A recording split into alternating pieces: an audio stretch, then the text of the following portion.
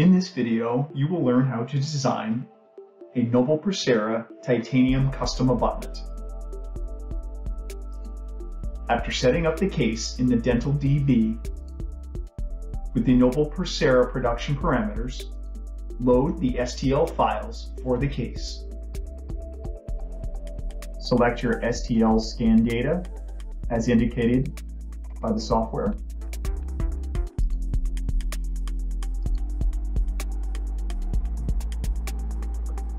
Once the scans have been loaded, proceed through the wizard. First, under the Adjust Scan Data Orientation, nothing is required here. Simply click on Next in the wizard. Next in the wizard, for Detect Implant Position, first select the implant analog that was used. In this case, we're using a Nobel Biocare Titanium Abutment FDA. Next, option, select the platform size. This is a conical connection RP. And then next, select the scan body that was used. In this case, it was an ELOS IOSA. You will see the picture and the rendering here.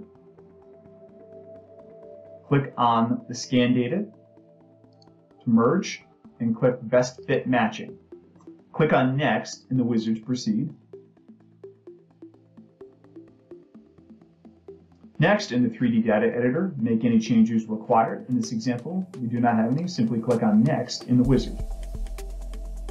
The next step in the wizard is designing the emergence profile. On Correct and Draw, or Detect, select the outline for the margin of the emergence profile for your case.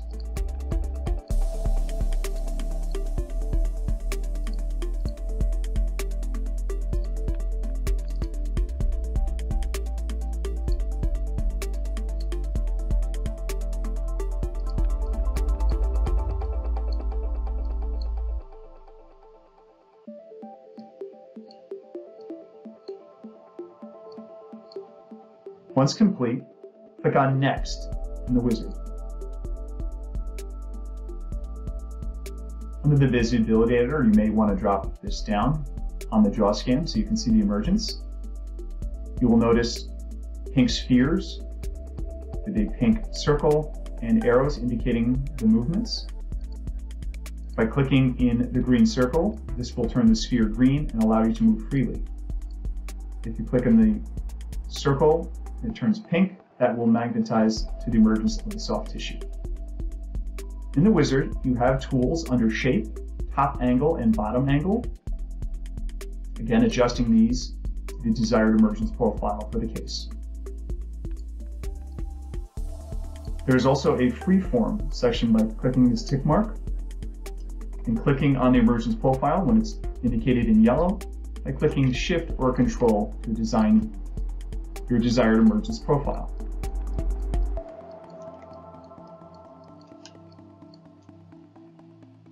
Under the Advanced tab, you'll also see Move All Margins, if you needed to move them all up or all down. Click on Next in the wizard to proceed once complete. Next in the wizard will bring you to the secondary insertion direction if nothing needs to be changed here, it will default to zero degree. Click on Next in the wizard. Next in the wizard, you will see abutment design, and you will see a default abutment shape appear. Use the handles to control the design of the body of the abutment.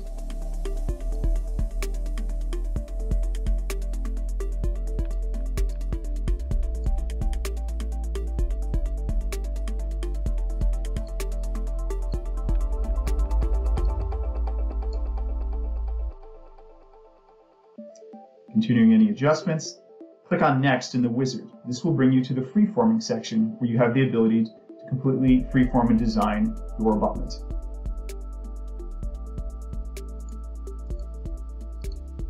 You can use the free section where you have add, remove, and smooth and flatten. Under anatomic, this will give you the ability to move certain sections of the abutment body. Under the free section, click on the add, remove add or remove material. In this case, I'm just removing material from the facial aspect of the abutment.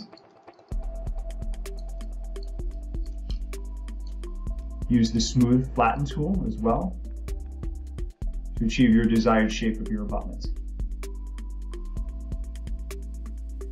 And back to the anatomic section to move sections of the body of the abutment.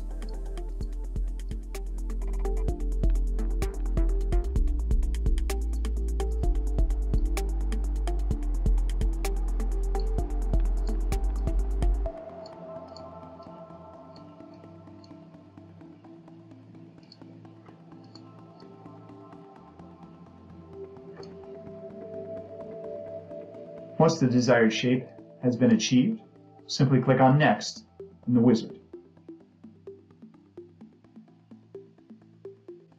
Last, under the wizard under Merge and Save Restorations, you can select I'm Done when complete and select Next in the wizard.